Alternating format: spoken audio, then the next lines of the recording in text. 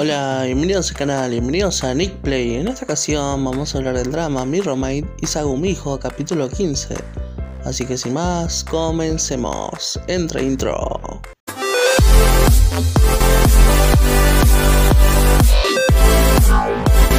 Comienza el capítulo con Lidan y Jin algo nerviosos luego de pasar su primera noche juntos. Lidan quiere hablarle a Jin con algún apodo cariñoso pero no se anima cosa que Jin se da cuenta y le dice que le gusta que la haga como quiera. Entonces vemos que Lidan de cariño le dice bebé a Jin. Mientras Hyesun lleva a Jin a su casa y ella piensa que él la va a besar y cierra sus ojos, pero en realidad él solo quería sacar algo de su rostro. Seguimos viendo a Jin y Lidan que están juntos y él ve que su perla le falta poco para volverse completamente azul así será humano. Él tiene algunos pensamientos negativos de algunas cosas así como cualquier humano, pero Lidan le dice que no piense en estas cosas, ya que son sentimientos que atraen cosas malas. Pero vemos que más tarde Lidan se pelea con otra compañera en la universidad y dice mil palabrotas y justo la ve Jin. Vemos que Jin siente que ya no puede usar su magia como quiere y Hyesun le dice que seguro es porque se está convirtiendo en humano, cosa que lo deja feliz y a la vez con algunas dudas si será así. Más tarde, Haijin sale con Hyesun ella ve que su exnovia comenta todavía en sus redes sociales y vemos que Haijin tiene que bloquearla ya que Jesun se enoja y se pone celosa. Vemos que también Jesun se enoja con él porque él es bastante tímido con ella, pero él le dice que él es así con ella porque se siente culpable de la vez que durmieron juntos.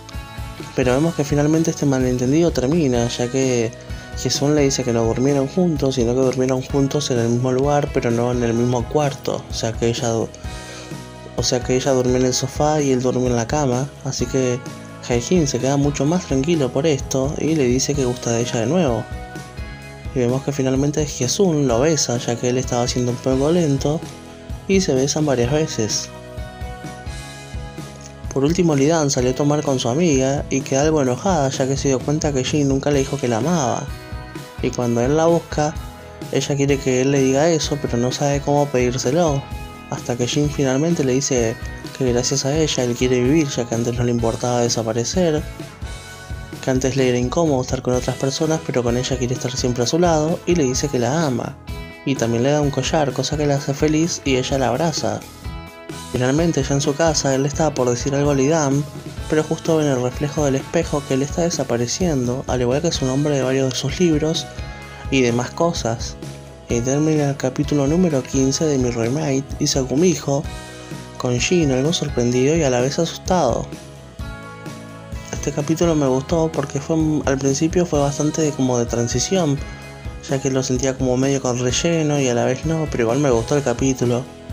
Eso del final de Jin seguramente debe ser porque está por cumplir los mil años y quizás si no se vuelve la perla completamente azul él va a desaparecer y hasta se puede convertir en un ser maligno como ya vimos anteriormente en el drama, ojalá que no.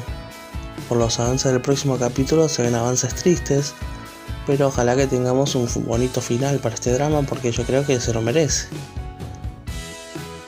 Algo que me gustó mucho fue que por fin ese malentendido entre Jaejin y Hyesun eh, se, fue, se salió, eso de que supuestamente habían dormido juntos y hasta se besaron. Pues es una pareja que me gusta mucho, la verdad, y que es una pareja secundaria que en el drama siempre estuvo y que siempre aportó mucho.